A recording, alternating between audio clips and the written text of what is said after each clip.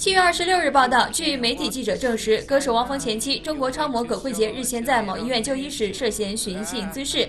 医院报警后，葛慧杰被检出涉嫌吸毒，被行政拘留多日。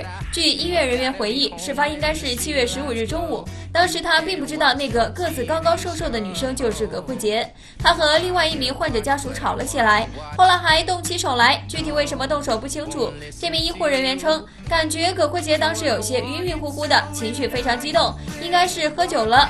据知情人透露，葛慧杰到派出所后进行了例行尿检，发现其尿检呈阳性，涉嫌吸毒。葛慧杰对吸毒也供认不讳，随后被行政拘留。